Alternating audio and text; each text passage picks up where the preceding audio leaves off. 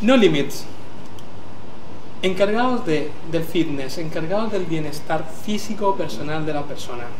¿Cómo te inicias en esto? ¿Cómo empieza? ¿Cómo, cómo empiezo? Mira, empecé eh, porque yo lo dejé hace muchos años, ¿no? Era más jovencita, un poco, ¿eh? Más jovencita. Ahora sigo siendo jovencita.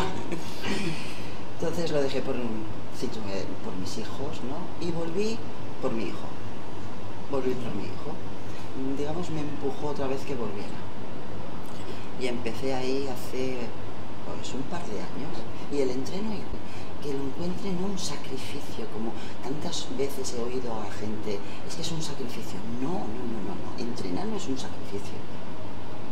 Depende cómo te lo plantees, o depende cómo se lo planteen. Y depende de la meta que tú quieras lograr. Claro, todo es empezar.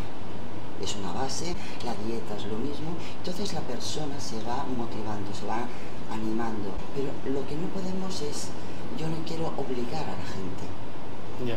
No obligo a la gente, quiero que disfrute con la dieta y el entreno.